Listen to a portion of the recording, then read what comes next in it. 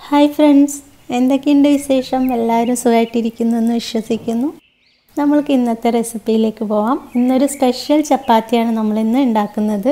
അപ്പോൾ നോർമലി ചപ്പാത്തി ഗോതമ്പ് പൊടി കൊണ്ടൊക്കെ ഉണ്ടാക്കി കഴിച്ചിട്ട് എല്ലാവരും മടുത്ത് കാണും. അപ്പോൾ ഇന്ന് ഒരു വെറൈറ്റി ആയിട്ട് നമുക്കൊരു സ്പെഷ്യൽ ചപ്പാത്തി ഉണ്ടാക്കാം. നല്ല സ്പൈസിയും ടേസ്റ്റിയും ഹെൽത്തി ആയിട്ടുള്ളൊരു ചപ്പാത്തിയാണിത്.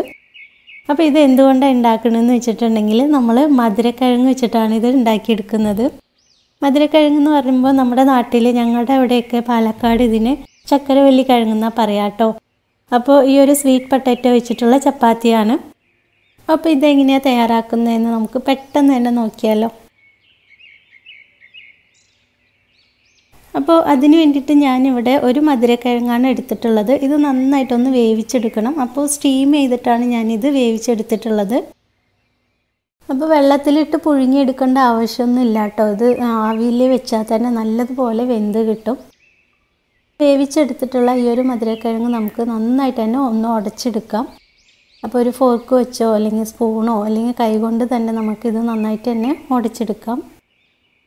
ഇനി ഈ ഉടച്ച് വെച്ചിട്ടുള്ള മധുരക്കിഴങ്ങിലേക്ക് നമ്മൾ ഒരു കപ്പ് ഗോതമ്പ് പൊടി ചേർത്ത് കൊടുക്കുന്നുണ്ട്. പിന്നെ ഇതിലേക്ക് ആവശ്യത്തിനുള്ള ഉപ്പ് ചേർത്ത് കൊടുക്കണം. കൂടാതെ നമ്മൾ ഇതിലേക്ക് ഒരു ടീസ്പൂണോളം ഉണക്കമുളക് ചതച്ചെടുത്തതും അര ടീസ്പൂൺ വെളുത്ത എള്ളും കൂടെ ചേർത്ത് കൊടുക്കുന്നുണ്ട്. അപ്പോൾ എള്ള് ചേർക്കുന്നത് ഓപ്ഷണലാണ് മുളക് ചതച്ചത് നമുക്ക് എരിവിനനുസരിച്ച് ചേർത്ത് കൊടുക്കാം. ഇതൊന്നും കൂടാതെ തന്നെ നമ്മൾ കുറച്ച് മല്ലിയില നല്ലതുപോലെ ചോപ്പ് ചെയ്തത് കൂടെ ചേർത്ത് കൊടുത്തിട്ടുണ്ട്. ഇനി ഇത് നന്നായിട്ട് തന്നെ ഒന്ന് മിക്സ് ചെയ്തെടുക്കാം. അപ്പോൾ കുഴയ്ക്കുന്ന സമയത്ത് നല്ല ടൈറ്റ് ആണെന്നുണ്ടെങ്കിൽ നമ്മളൊരല്പം പാലോ വെള്ളമോ ചേർത്ത് കുഴച്ചെടുക്കാം. അപ്പോൾ എന്തായാലും നമ്മൾക്ക് അതിന്റെ ആവശ്യമൊന്നും വന്നിട്ടില്ല. നല്ല കറക്റ്റായിട്ടുണ്ടായിരുന്നു ഈ ഒരു കിഴങ്ങിന് ഒരു കപ്പ് മാവ് കറക്റ്റായിട്ടുണ്ടായിരുന്നു അപ്പോൾ മാവ് നല്ല ലൂസായിട്ടാണ് നമുക്ക് കാണുന്നുണ്ടെങ്കിൽ കുറച്ച് പൊടി ചേർത്ത് കുഴച്ചെടുക്കാം. അതല്ലെങ്കിൽ ടൈറ്റായിട്ടാണുള്ളെങ്കിൽ ഒരല്പം പാലോ വെള്ളമോ നമുക്ക് ചേർത്ത് ഇത് കുഴച്ചെടുക്കാം കേട്ടോ. അപ്പോൾ നമ്മൾക്ക് ഇതൊന്നും ചേർക്കാതെ തന്നെ നല്ല കറക്റ്റായിട്ടുണ്ടായിരുന്നു നല്ല സോഫ്റ്റ് ആയിട്ടുള്ള മാവ് നമുക്ക് കുഴച്ചെടുക്കാൻ പറ്റിയിട്ടുണ്ട്. അപ്പോൾ നമ്മളുടെ സ്പെഷ്യൽ ചപ്പാത്തിയുടെ മാവ് നല്ലതുപോലെ കുഴച്ചെടുത്തിട്ടുണ്ട്. ഇനി ഇതൊരു അഞ്ച് പത്ത് മിനിറ്റ് നമുക്ക് റെസ്റ്റ് ചെയ്യാനായിട്ട് വയ്ക്കാം അതിനുശേഷം ചെറുതായി ഒന്ന് കുഴച്ചെടുക്കാം.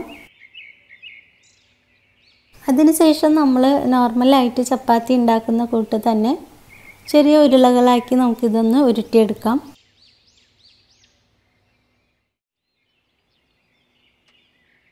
അപ്പോൾ നമ്മൾക്ക് ഉണ്ടാക്കുന്ന ചപ്പാത്തിക്ക് അനുസരിച്ചുള്ള ഉരുളകൾ നമ്മൾ ഉരുട്ടിയെടുത്തിട്ടുണ്ട്.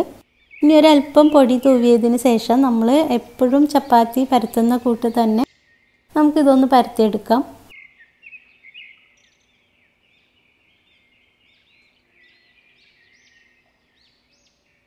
ഇപ്പോൾ നമ്മളുടെ സ്പെഷ്യൽ ചപ്പാത്തി ഇവിടെ റെഡി ആയിട്ടുണ്ട്. ഇനി ഇതൊന്ന് ചുട്ടെടുക്കണം. അപ്പോൾ അതിന് വേണ്ടിയിട്ട് നമ്മളൊരു പാന് ചൂടാവാനായിട്ട് വെച്ചിട്ടുണ്ട്. ഈ ചൂടായ പാനിലേക്ക് നമ്മൾ ഈ ചപ്പാത്തി വെച്ച് കൊടുക്കാം. അതിനുശേഷം രണ്ട് മിനിറ്റ് വെയിറ്റ് ചെയ്യാം. രണ്ട് മിനിറ്റ് കഴിഞ്ഞതും നമ്മൾക്ക് ഇതൊന്ന് തിരിച്ചിട്ട് കൊടുക്കാം. തിരിച്ചിട്ട് കൊടുത്ത് ഒന്ന് രണ്ട് മിനിറ്റ് ആകുമ്പോഴത്തേനും തന്നെ ഇതിൽ ചെറിയ കുമിളകൾ വരും. ആ സമയത്ത് നമ്മളൊരല്പം ഓയിൽ തൂവി കൊടുക്കുന്നുണ്ട്. ഇത് നമ്മൾ ചപ്പാത്തിയൊക്കെ ഉണ്ടാക്കുമ്പോൾ ചെയ്യുന്ന ഒരു രീതി തന്നെയാണ്. ഇനി ഒന്ന് രണ്ട് വട്ടം നമ്മൾ നന്നായിട്ട് തിരിച്ചും മറിച്ചൊക്കെ ഇട്ട് നന്നായിട്ട് പൊള്ളിച്ച് ചുട്ടെടുക്കാം. ഇപ്പോൾ നമ്മുടെ നല്ല സോഫ്റ്റും ടേസ്റ്റിയും ഹെൽത്തി ആയിട്ടുള്ള സ്വീറ്റ് പൊട്ടാറ്റോ ചപ്പാത്തിയുടെ റെഡി ആയിട്ടുണ്ട്.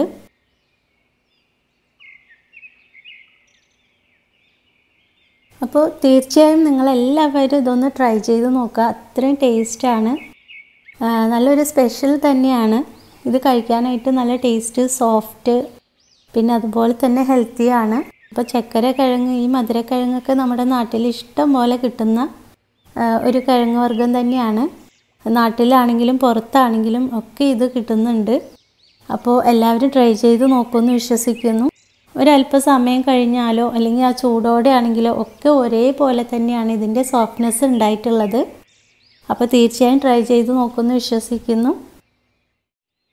അപ്പോൾ നമ്മളുടെ ഇന്നത്തെ ഈ വീഡിയോ ഇഷ്ടമായിട്ടുണ്ടെങ്കിൽ ഒന്ന് ലൈക്ക് ചെയ്യാനും ഷെയർ ചെയ്യാനും അതുപോലെ തന്നെ ആദ്യമായിട്ടാണ് നമ്മളുടെ ചാനൽ കാണുന്നെങ്കിൽ ഒന്ന് സബ്സ്ക്രൈബ് ചെയ്ത് സപ്പോർട്ട് ചെയ്യാനും മറക്കരുത്. പിന്നെ നിങ്ങളുടെ അഭിപ്രായങ്ങൾ എന്തായാലും പറയാം. അപ്പോൾ കണ്ടില്ലേ ചപ്പാത്തി പൊള്ളി വരുന്നത് പോലെ നല്ല ഫ്ലഫി ആയിട്ട് പൊന്തി പൊള്ളി വന്നിട്ടുണ്ട്. ഇത് ഇങ്ങനെ തന്നെ കഴിക്കാനായിട്ട് നല്ല ടേസ്റ്റാണ് ഇതിന് സൈഡ് ഡിഷായിട്ട് ഒന്നും പ്രത്യേകിച്ച് വേണമെന്നൊന്നും ആവശ്യമില്ല. എന്നാലും കറികളുടെ കൂടെ കൂട്ടി കഴിക്കാനും നല്ല ടേസ്റ്റാണ്. അപ്പോൾ നമ്മൾ ഇത് ഇതിന്റെ കൂടെ സെർവ് ചെയ്തിട്ടുള്ളത് ടൊമാറ്റോ റോസ്റ്റാണ്.